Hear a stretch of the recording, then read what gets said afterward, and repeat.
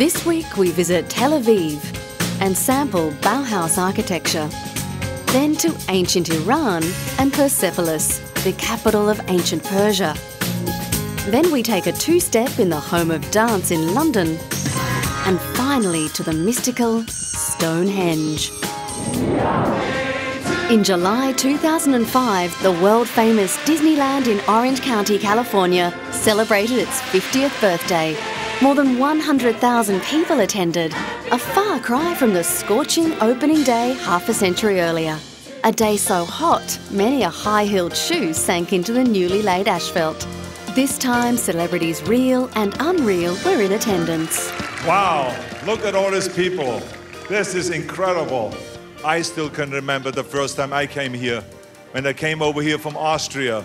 And I especially remember the first time Maria and I brought our kids here to Disneyland.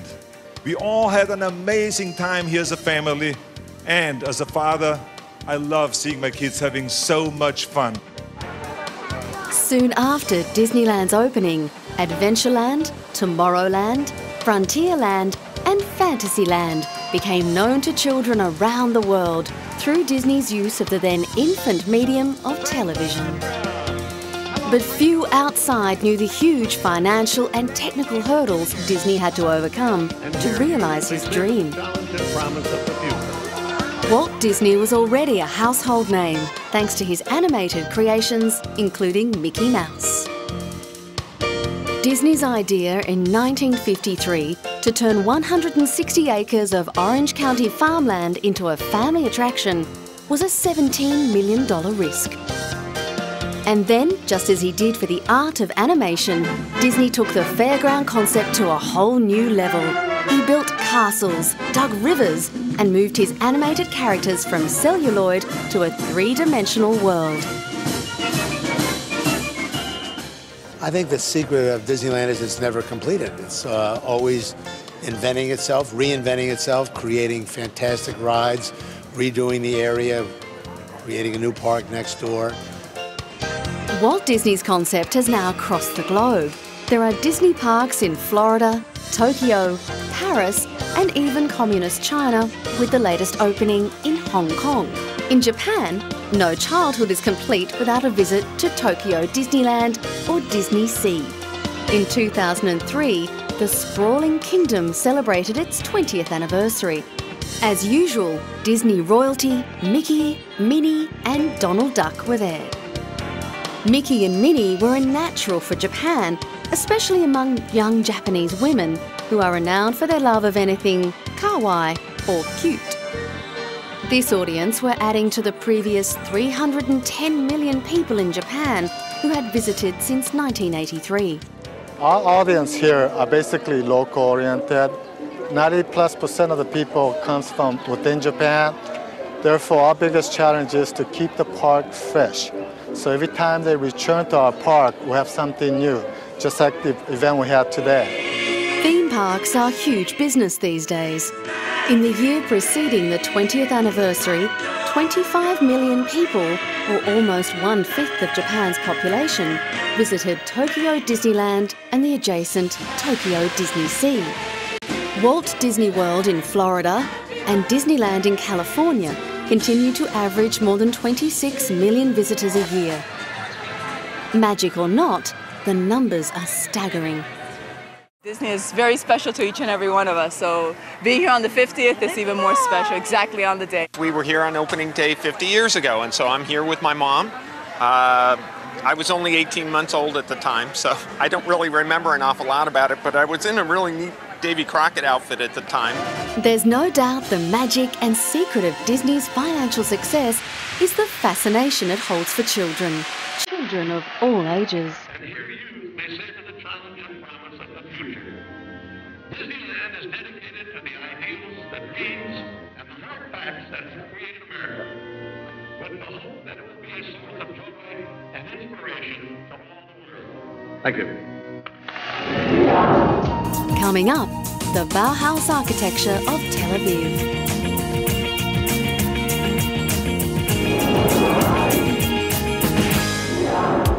Since the early 1920s, the name Bauhaus has been associated with the avant-garde. The Bauhaus architects have gone down in history as a German art movement that influenced the world. But it may surprise many that the best surviving example of Bauhaus architecture lives on in another country, Israel. In 2004, UNESCO added Tel Aviv to its list of World Heritage Sites because of its collection of Bauhaus architecture. In the White City of Tel Aviv, the type of originality of work that was done, the type of innovation that was done, and the committee agreed that this was an outstanding work that should be kept as a heritage for the entire world. Tel Aviv boasts some 4,000 Bauhaus structures, most of them residential buildings that have already been restored or will be soon. The UNESCO decision enshrined the spirit of Tel Aviv neighbourhoods, a marriage of engineering and art that produced functional buildings of clean geometry and undersized structural elements like steel, glass and concrete.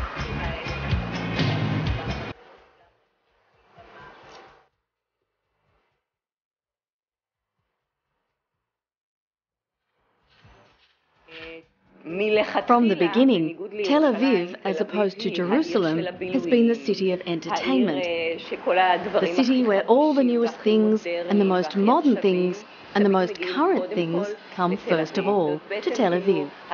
It is actually the connection between Israel and the outside world. UNESCO's recognition of White City confirmed what locals have known for decades. They live in a special place. But the unlikely road from Germany to Tel Aviv for the Bauhaus architects was, like many stories of the 1930s, steeped in pain.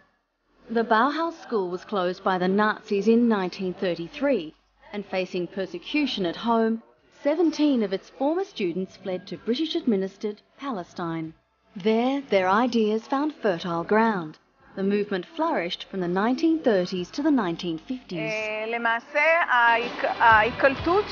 Actually, the absorption of the ideas of the modernist movement in Tel Aviv is a combination of a number of circumstances. First, virgin ground in a city that had just been established and was taking the first steps of its development, the beginning of the third Aliyah, the wave of immigration in the 1930s, which was a massive immigration that came with very broad financial means, and the need to provide housing solutions to the new immigrants.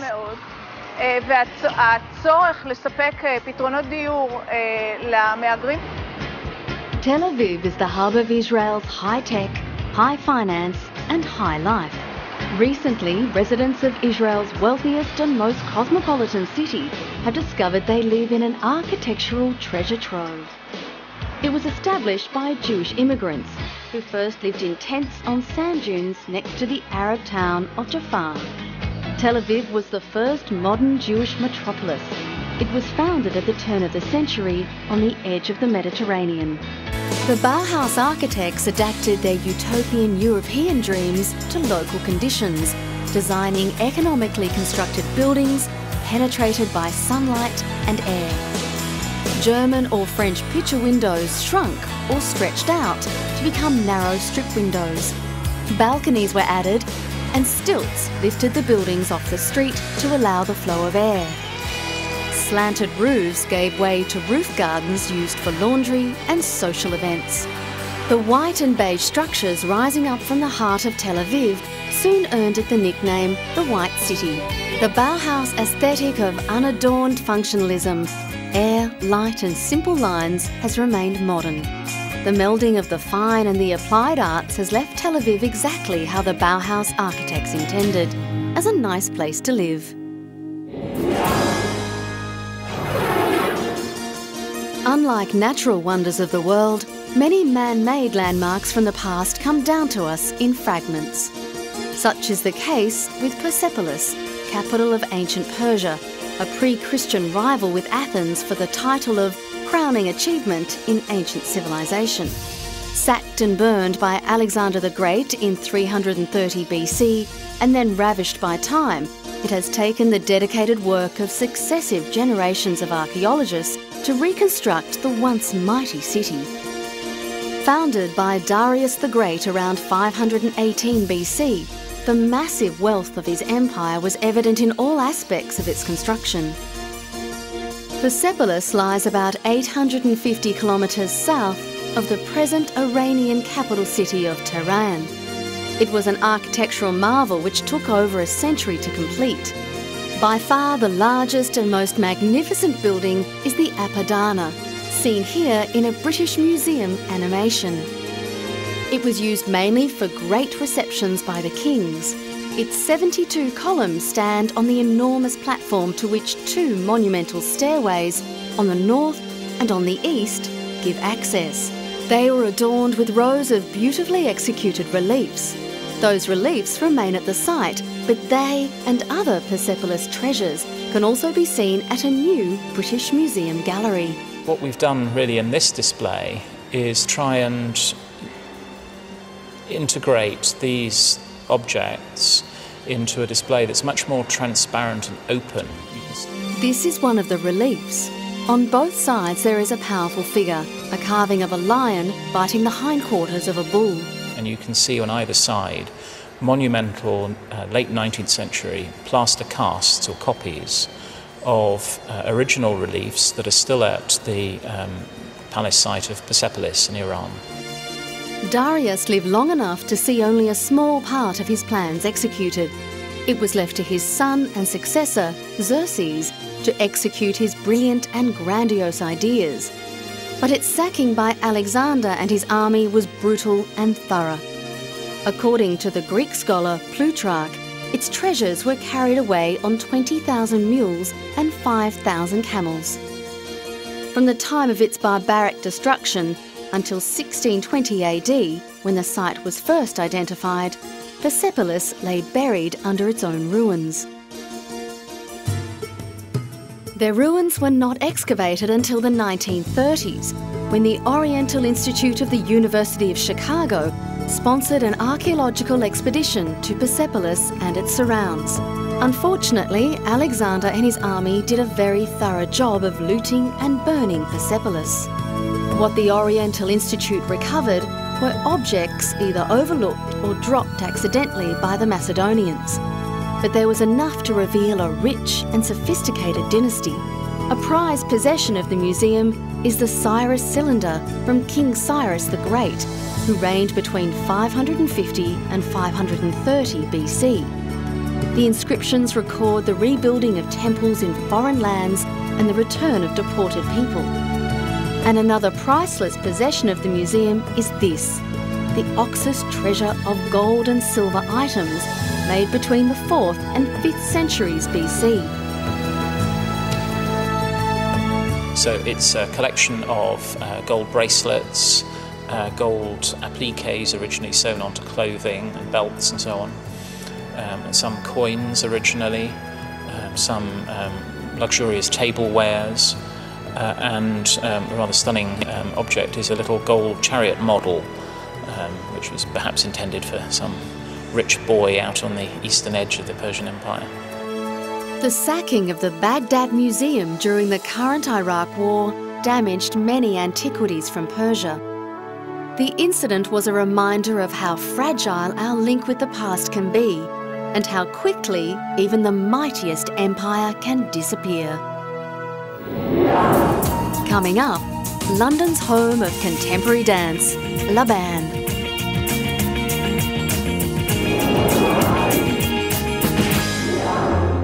A feature of many man-made landmarks, ancient and modern, is that they were central gathering places for the society they were created in. They were sometimes places of gruesome entertainment, but more usually important religious or ceremonial sites.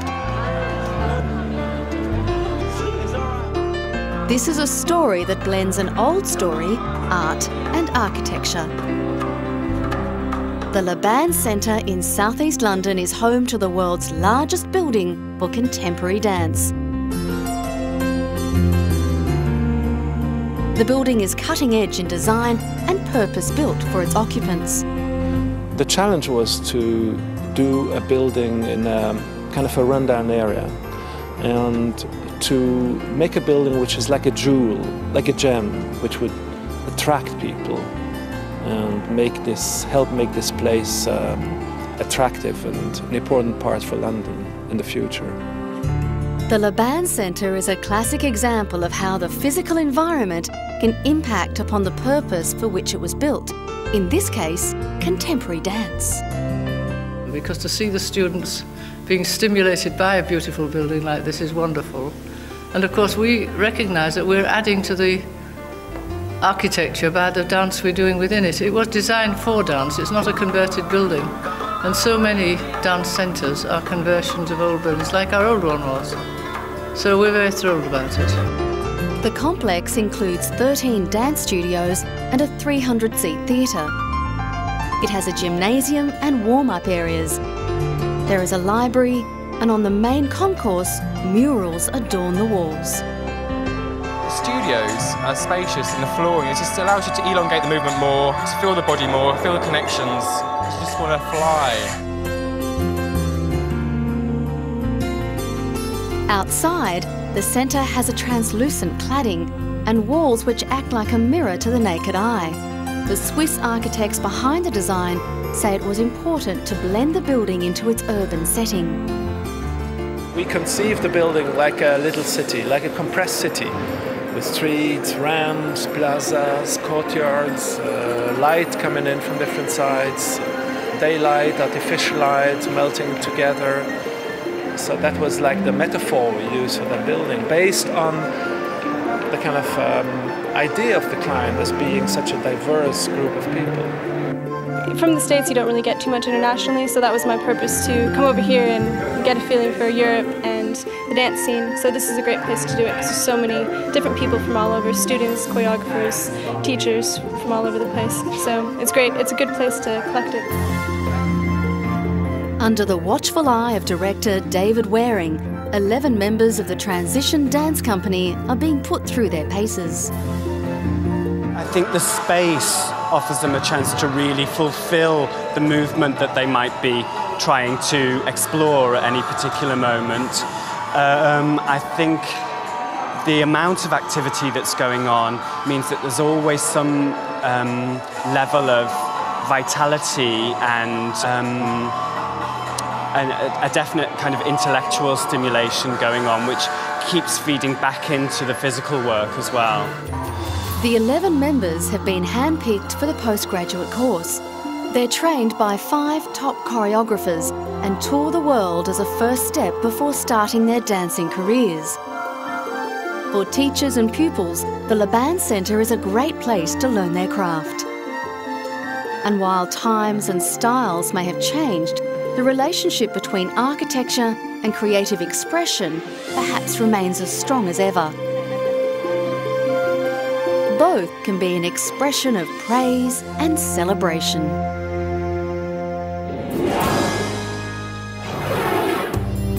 The sun is revealed from behind the scudding clouds and bathes the lichen covered stones.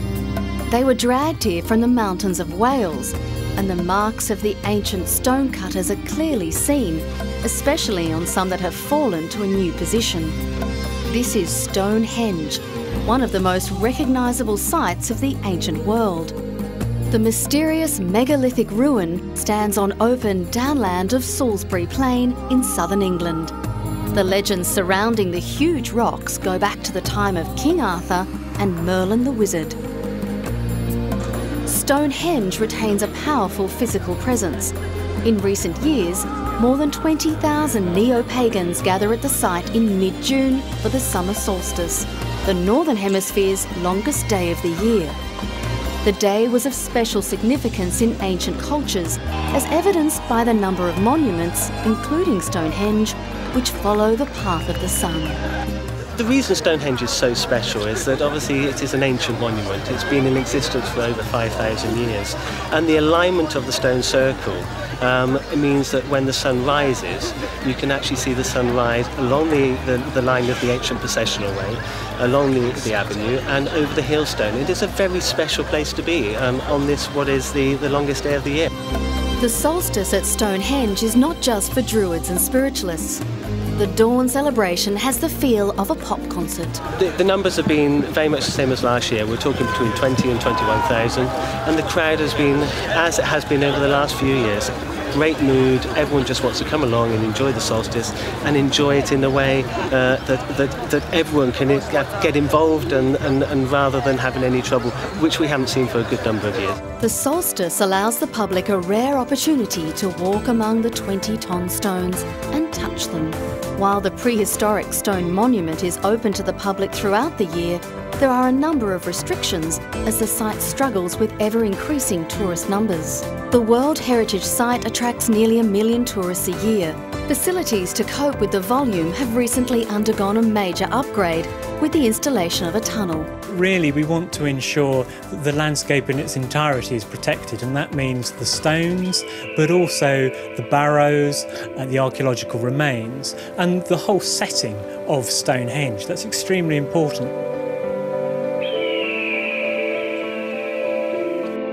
Some say the giant stones at Stonehenge were originally brought from Africa to Ireland by giants. Others say the stones were used as a site for performing rituals and for healing.